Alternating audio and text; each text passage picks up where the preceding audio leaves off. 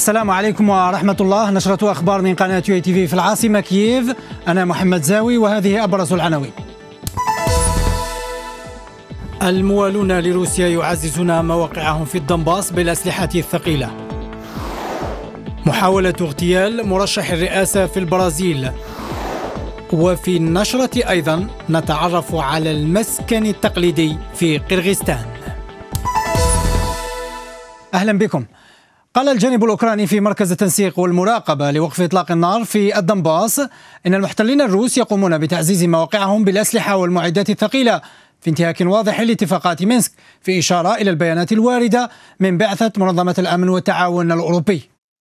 المراقبون كشفوا تمركز أكثر من 200 دبابة وعشرات من المركبات القتالية وقاذفات صواريخ وأنظمة المدفعية ذات العيارات المختلفة وقذائف الهاون وأنظمة الصواريخ المضادة للطائرات. وفقا للبيانات فإن قوات الاحتلال الروسية نشرت نحو 472 من القطع العسكرية والغالبية منها محظورة الاستخدام في الدنباس. وفي ذات السياق قال المتحدث باسم المركز الصحفي لقيادة القوات الموحدة فيتشيسلاف بيتروفسكي أن قوات الاحتلال الروسية قصفت ليلا بالمدفعية موقع القوات المسلحة الأوكرانية في بلدة كريمسكي دون خسائر تذكر في صفوف القوات الأوكرانية. منذ بداية اليوم قام العدو بإطلاق النار على مواقع القوات الموحدة خمس مرات بالقرب من بلدات كريمسكي هنوتا وفادينوي وبهذا خرق الهدنة المدرسية لوقف إطلاق النار. وتجدر الإشارة إلى أن بلدة كريمسكي قصفت باستخدام المدفعية. هذا وقصف المحتلون الروس المواقع الأوكرانية في الدنباس 28 مرة خلال 24 ساعة الأخيرة دون استخدام الأسلحة الثقيلة. موقع القوات الأوكرانية في كل من كريمسكي مايورسكي بيسكوف كراسناهوريفكا وبافلوبولي فوديان هنوتوف وشيروكينا تعرضت لقصف بقاذفات القنابل والرشاشات الثقيلة والأسلحة الخفيفة. ووفقا للاستخبارات الأوكرانية فإن المعارك أسفرت عن مقتل مسلحين خلال اليوم الماضي وإصابة ثلاثة آخرين بجروح فيما لم يبلغ عن وقوع ضحايا في صفوف القوات الأوكرانية.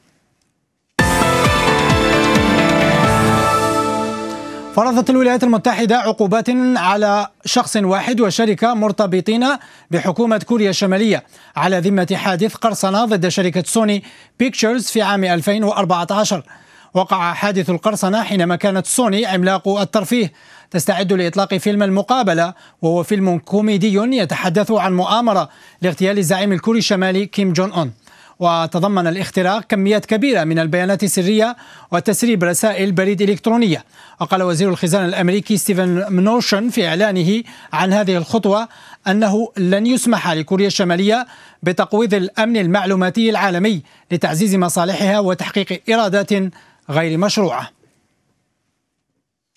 في موضوع آخر أعلنت الخطوط الجوية البريطانية تعرض معلومات بطاقات ائتمانية ل 380 ألف مسافر للسرقة من قبل قراصنة إنترنت. وأوضحت الشركة في بيان أن القراصنة سرقوا معلومات بطاقات المسافرين الائتمانية عبر اختراق موقع شراء التذاكر الإلكتروني في الفترة بين الحادي والعشرين أغسطس الماضي والخامس سبتمبر الجاري. وأشارت إلى أن رحلات المسافرين ومعلومات جوازات سفرهم لم تتأثر بعملية سرقة المذكورة. وأوضحت الشركة أنها تواصلت مع المتضررين داعية المتخوفين من تداعيات الحادثة إلى التواصل مع البنوك التي يتعاملون معها لاتخاذ الإجراءات اللازمة. وأكدت الشركة أنها فتحت تحقيقا بالتعاون مع السلطات المختصة. تعرض جايرو بولسونارو مرشح الرئاسة البرازيلي إلى محاولة اغتيال خلال حملته الانتخابية اليوم حيث يجري عملية عاجلة بعد تعرضه للطعن في البطن. وصرح متحدث باسم الشرطة العسكرية بأن المشتبه فيه رجل يبلغ من العمر 40 عاما. وأنه اعتقل على الفور مشيرا إلى أنه كان يحمل سكينا ملفوفا بقطعة قماش. وأفادت عديد من المواقع الإخبارية بأن المهاجم مناضل سابق في حزب يساري. لقد آلمني هذا الخبر. البرازيل تعتبر ثالث أكبر ديمقراطية في العالم وبلد مثل البرازيل لديه جوانب معينة من الديمقراطية. لديها مرشح متقدم وفقا لاستطلاعات الرأي وعانى هذا المرشح من هجوم رخيص. يجب أن نتأمل في مفهوم الديمقراطية ذاته. ارتفع عدد ضحايا الزلزال الذي ضرب بالأمس جزيرة هوكايدو اليابانية بقوة 6.7 درجات ليصل إلى 16 شخصا. وأعلن رئيس الوزراء الياباني شينزو آبي أنه جرى انتشال سبع جثث أخرى من المنطقة التي تعرضت لانهيار أرضي بفعل الزلزال وأشير إلى إصابة 350 شخصا فيما زال فيما ما زال هناك 26 آخرين في عداد المفقودين وتواصل وتتواصل أعمال البحث والإنقاذ في الجزيرة. إنه لأمر مروع. كنت دائما أمشي في هذا الشارع ولم أكن أتخيل أنه سيتم تدميره بهذه الطريقة. لقد كنت محظوظا لأني كنت سأفقد حياتي هنا. هناك حديقة بالقرب من هنا وهناك حمام ومياه جارية وهذا يساعدني كثيرا. ولدي إمدادات المياه في المنزل لكني أحاول عدم استخدامها قدر الإمكان. المياه الآن ثمينة. قلب منتخب أوكرانيا تأخره آه، بهدف لصفر أمام مضيفي منتخب تشيك إلى فوز ثمين وبهدفين مقابل هدف في الجولة الأولى من مباريات المجموعة الأولى بالقسم الثاني لبطولة دوري الأمم الأوروبية لكرة القدم. تقدم المنتخب التشيكي بهدف مبكر جاء عبر لاعبه باتريك شيك في الدقيقة الرابعة قبل أن يعادل يفجين كونوبليانكا لأوكرانيا في الدقيقة الخامسة والأربعين. وبينما كانت المباراة في طريقها للانتهاء بالتعادل الإيجابي أحرز ألكسندر زينتشينكو هدف الفوز القاتل لأوكرانيا في الدقيقة 90 بهذه النتيجة حصد منتخب أوكرانيا أول ثلاث نقاط له في المجموعة فيما ظل المنتخب التشيكي بلا نقاط. المباراة المقبلة لأبناء المدرب شيفتشينكو سيستضيف فيها منتخب سلوفاكيا يوم التاسع من سبتمبر بملعب لفيف أرينا. مسكن بدون زوايا ولا مسامير اليورت أو الخيمة. هي تراث وطني تقليدي لقرغيزستان ويندرج ضمن قائمة اليونسكو للتراث العالمي ماذا يعني اليورت بالنسبة لقرغيزستان؟ ولماذا يفتخرون بمنزلهم التقليدي؟ الإجابة نتعرف عليها في التقرير التالي. شيدت مدينة إثنية من 800 خيمة على ارتفاع 2500 متر تقريبا فوق مستوى سطح البحر.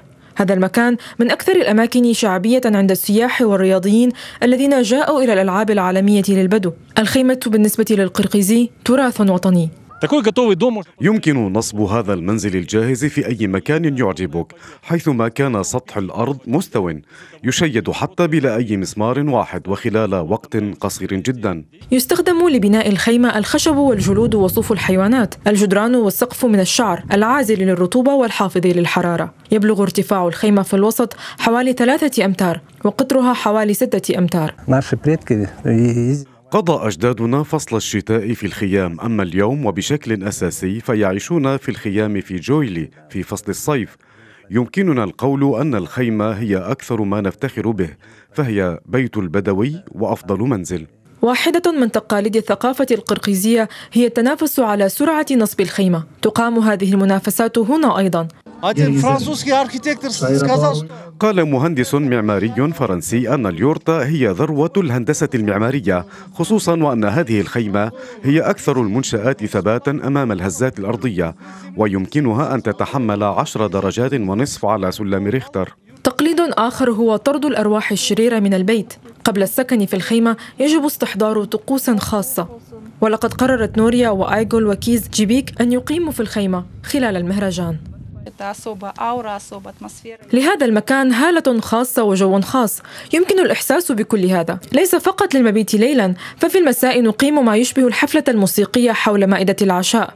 وكوماز وأكيني يجلسون ويغنون.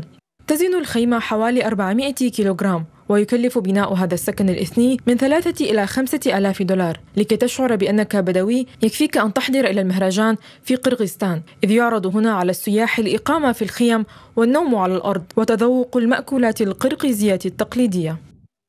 ختام نشرة اليوم المزيد من الأخبار الوطنية والعالمية تتابعونها عبر موقع uatv.ua كما يمكنكم متابعتنا والتواصل معنا عبر مواقع التواصل الاجتماعي فيسبوك تويتر ويوتيوب شكرا على حسن المتابعة ودمتم في رعاية الله.